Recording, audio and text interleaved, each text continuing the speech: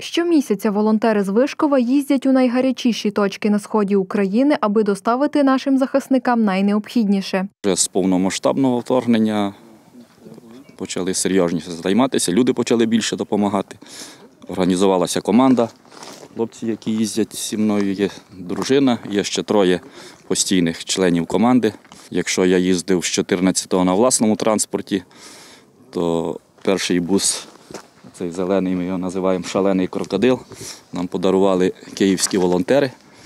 Ми на ньому їздили майже рік, але він старенький. Ну, не, не дуже на ньому добре їздити. Ми його перелаштували в музей. Волонтери кажуть, найчастіше привозять для військових амуніцію та продуктові набори. Напряму ми не працюємо з міжнародними організаціями, як сказав, які благодійні фонди є. Ми з ними співпрацюємо, що в них є по запиту. Треба нам там якісь продукти. Ну, слава Богу, зараз з продуктами проблем нема у військових.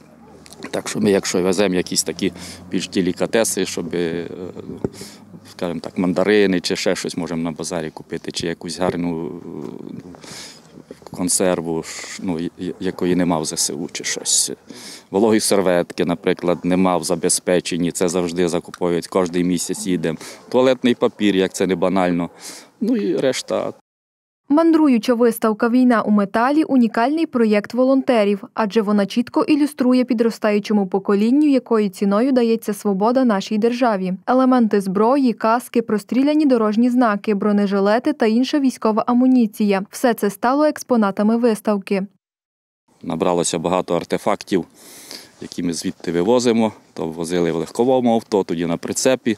Тепер повний бус, і то не поміщається. Виставка в нас заробила за минулий рік майже 600 тисяч гривень. Всі ці кошти були залучені. Все, звідти у нас на сторінці УФБ. Все прозоро, що прийшло, що пішло, що закупили, абсолютно все пише. Там стоїть скринька. Добровільні пожертви, абсолютно ніяких.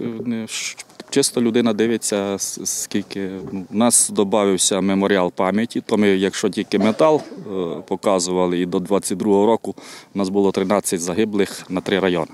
Це Тячівський, Рахівський, Рахівський, Тячівський, Хуський і Міжгірський. Тоді вони були окремо.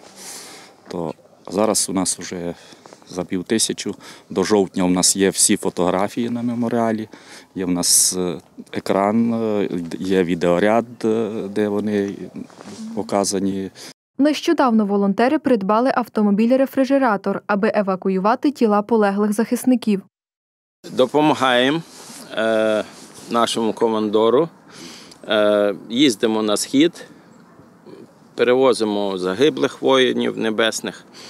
Ну, на, наша справа допомога. Карпатська Січ, 128 бригада і 101 бригада. Наша е, ТРО. 38-й допомагали, теж морська піхота. 47-й 60, 66 там, ну, хто просить, тим і допомагає. Чоловіки завжди отримують запити від військовослужбовців та вже планують наступну подорож на схід. Поїздки вже не рахують та кажуть, що їздитимуть на фронт, поки не буде перемоги.